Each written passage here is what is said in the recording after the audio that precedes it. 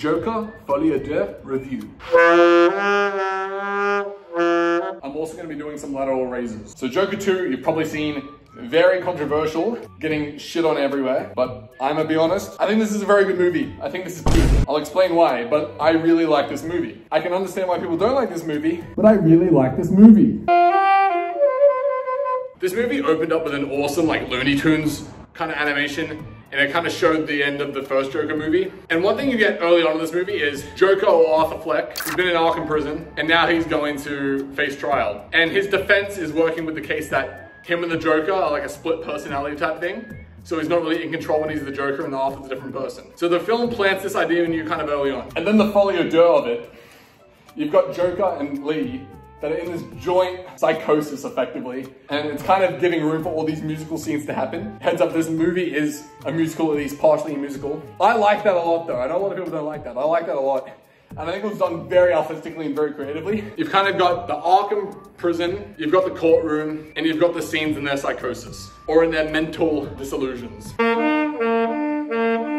you want a spoiler for your review right now, I love this movie. I think it's an incredible movie. You'll see a lot of people saying this is the worst thing ever. They ruined Joker, they ruined everything. I think these people aren't thinking. I'm not saying their opinion is wrong, okay? But I, I can understand why people dislike this movie and I'll get into it. But I do not think you can fairly call this a bad movie. I think it's a great movie. It just might not be for you if that makes sense. So I find it a bit hard to recommend, like in a general sense. I reckon you should go see this movie. Just if you're expecting a Batman crime boss Joker, don't watch this or don't go into it expecting that to happen because that's not what happens. It's not. The more I think about this movie, the better I think it is. Maybe coming out of it, like my direct reaction would have been maybe a seven, but you'll, you'll see what I give it later. But every day I go by, this thing keeps getting better and better in my head. And all the criticism I'm seeing of it is kind of also making it better and better. And I'll kind of explain my thought behind that. But the big pros in this movie, in my opinion, like the cinematography was awesome. The music sequences are really great. Again, they may not be your cup of tea, but looking at it, you can't say this is a bad music sequence. The acting of Phoenix and Gaga Insane. Very good. As good as the first. My opinion, I don't think there are a lot of cons if you take the movie like it's being presented. I can't talk about this anymore without getting into it, so I'm gonna do that right now. Spoilers, I'm not gonna keep it too heavy though. So I think the main criticism of this movie is that it's following Arthur and not Joker. What I mean by that is the whole Joker mantle that was kind of put on him at the end of the first film. He didn't do that. That was kind of just placed on him by society and he's become this icon. And you see throughout this movie that he doesn't want to be that. But you've got people like Harley and the general Joker fans that are pushing him into this role, especially Harley. She uses his feelings, love, and emotion to try and draw the Joker out of him. And it kind of goes back to that double personality thing. My interpretation of this is that it's been Arthur the whole time. He never was the Joker. He never identified as the Joker. I get that the movie is called Joker, but you gotta understand, you gotta make money.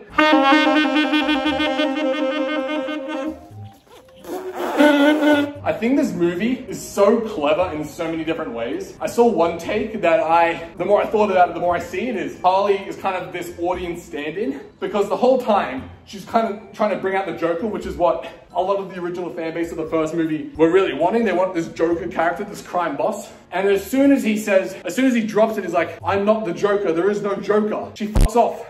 She just leaves. And that's kind of what happened with the audience. They all left. But I didn't. I loved it. I thought it was meta. I thought it was crazy. To give like a more basic plot summary, you got the prison at the start which is where he also first meets Harley. She's kind of kind of stalked him and is giving them these illusions of grandeur. And that they're this thing and then their folie starts, right? As you progress, we get into the court scenes, which is getting trial for the murder of five people, even though it's six, and he says this later. But he clearly, from the things we see in this movie, he regrets his actions to an extent. I don't think he regrets killing some of the people, but he doesn't like, he doesn't want to be a killer. He's killed people, but he doesn't want to be this killer crime boss. I think where a lot of people would have gotten mad. I reckon no matter what kind of viewer you are, unless you just hate music, music and you, or you have a really low attention span, I see the first two thirds to three quarters of the movie being very unproblematic. I think it was just great movies, great storytelling, and nothing too harmful. But why I think people hate this movie is they were expecting the Joker to become the crime boss. And the first two thirds to three quarters of the movie is kind of edging uh, as to whether or not that will happen. And then it comes to this court scene where he, he fully embraces this Joker character.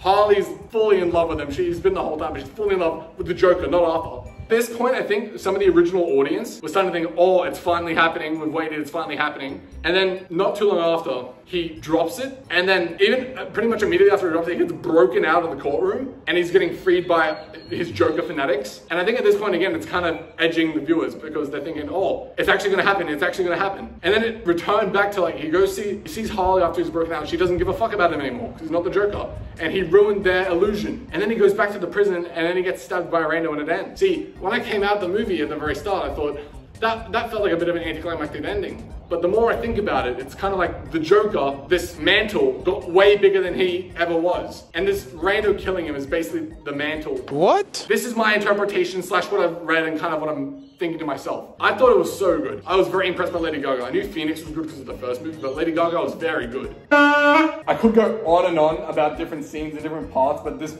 video would be an hour long. I will be happy to discuss things in the comments if anyone cares enough to comment. I will discuss with you, I will handle your gripes and whatnot, but I really think this movie is an artwork. I think it's a master, masterpiece, maybe, maybe in a couple more days if I stay on this trajectory of liking it more each day. But this movie, director clearly had an and it's very artistically displayed in this movie to the dismay of all those that just wanted to see a Joker crime movie. This is clearly not what this is. And it was never what the first one was meant to be in the director's eyes. I don't really care what the director's intentions are the majority of the time. But when it's so, I think this is genius what he's done with this one. I, I, I, think this is a perfect sequel to the first one too. I mean, you either had the two routes, you either had the embrace crime route or back to the sad, mentally ill man who's been mistreated by society and is continuing to be done so. I think people have gotten so used to just very switch off your mind movies shit like the last stuff I've been reviewing. But this movie, when you finally have to like use your brain, people just don't like it. This is not me calling people that don't like the movie dumb, by the way. I came out of that movie thinking like, did I watch the same thing? I would never have imagined people giving this shit like a one star. You either like this type of movie or you don't like it. But you can't say this is a bad movie. I'm gonna keep saying this. It's not a bad movie. I had um, some other people say it was a bit slow. I mean, like, it's because everyone's getting used to these five second videos, I'm telling you. It was not, not everything is instant gratification. Like, I'm a bit annoyed, honestly. I'm a bit annoyed.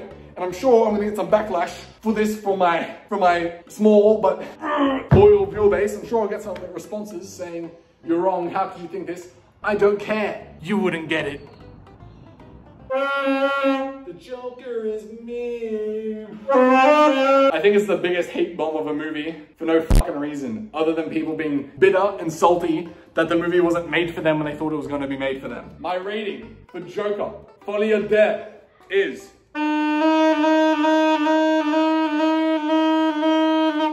nine success point two lateral raises, 9.2. People are gonna hate this. I'm telling you, this movie is peak. You just gotta actually switch your mind on, look at it like an artwork. Don't go in with it with this expectation, only to be disappointed because it's not your thing, and then because it's not your thing, you just hate it blindly. I'm telling you, watch this movie. Movie? But I understand if you just don't get it. We can't all get it. But that's me. I definitely did not do this justice. In the in the sea of negative reviews, I wanted a positive review out there kind of quicker. So thank you very much for watching. Watch Joker à Deux. Unless you just know it's not your type of film. It's okay if you don't want to watch it. Although I think you should.